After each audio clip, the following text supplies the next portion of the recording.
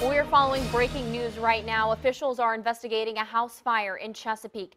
Crews are at a home on Laferno Road in the Deep Creek area. According to dispatch, the call came in just before 545 this afternoon. 10 on your side's Laura Caso is live at the scene right now, and she's learned at least three people were hurt. Laura, you also talked to witnesses on the scene and officials. What are they saying about what happened?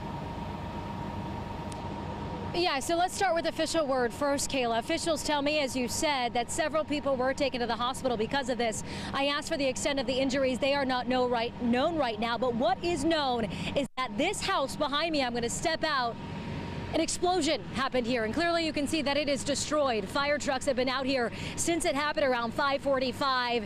And not only that, not only did this house catch fire, but also the neighboring home as well. And I'm told that that fire also spread to trees as well. Now, this was a confirmed gas explosion, according to Lieutenant Tony Barakat with Chesapeake Fire. And of course, being that it was a gas explosion, many people heard it. I spoke with a neighbor who lives 10 blocks away. She tells me that her house shook. Not only that, but a neighbor who lives six houses away says that her table shook. Her frames fell off the wall. Now, if I can have photojournalist Mike Marrero pan to the actual wall, you can see some of the house has fallen off. And we don't know. We can only assume, though, that that happened during the explosion.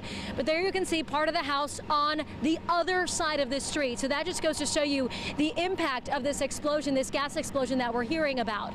Now, going back to those people who were taken to the hospital, neighbors tell us that an elderly couple lived here. And they say that they were known in this area, but right now, officials don't know what exactly caused this. Now, we will continue to stay out here. There are a lot of neighbors, a lot of witnesses out here who keep telling us different things about what happened. So we'll continue to learn those stories. And I'm going to speak with Lieutenant Tony Barakat in just a bit as well to get the latest update for you. And we will bring it to you live here on Wavy. For now, I'm live in Chesapeake. Laura Caso, 10 on your side.